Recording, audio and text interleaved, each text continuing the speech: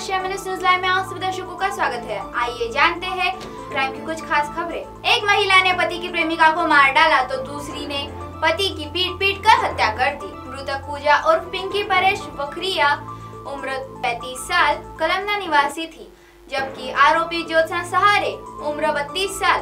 उसका पति भोजराज सहारे, उम्र 34 साल चिकली बस्ती निवासी और ज्योत्सना की माँ प्रमिला जैन तभाने उम्र 46 साल कमाल चौक निवासी है। पूरा मामला इस प्रकार है कि गत एक वर्ष से भोजराज और पूजा में अवैध संबंध जारी है। रात में छिप छिप कर फ़ोन पर बात करने से ज्योत्सना का संदेह हुआ था। पति से कई बार इस बारे में उसने पूछताछ की।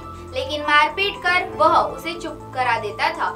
इसके बाद ज्योत्सना पति पर नज़र रखने लगी और दोनों को मिलते हुए भी पकड़ा।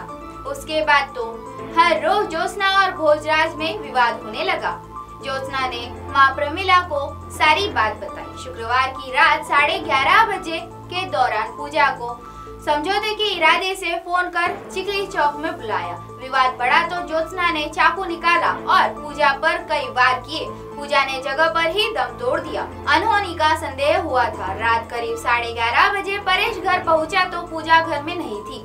बच्चे सोते हुए थे। पत्नी के मोबाइल पर फ़ोन लगाया तो फ़ोन भोजराज ने उठाया। चीख पुकार सुन परेश को अनहोनी की आशंका हुई।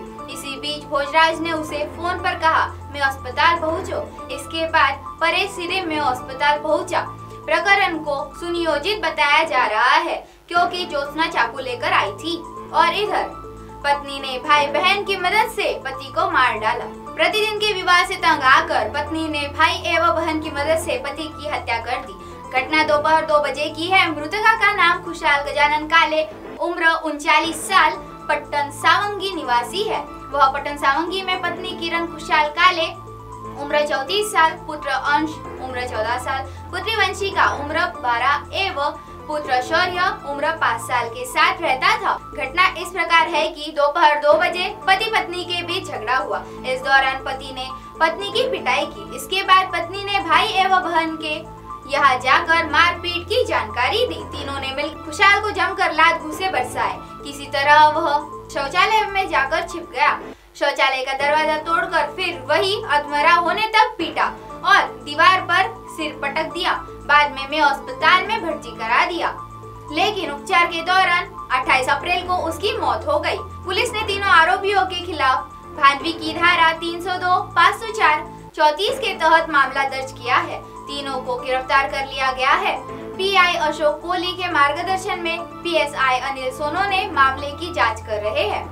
तो एम एन न्यूज़ लाइव की खबर देखने के लिए आज प्ले स्टोर से एम हिंदी ऐप डाउनलोड करें और इस चैनल को लाइक सब्सक्राइब और शेयर करना ना भूले। धन्यवाद।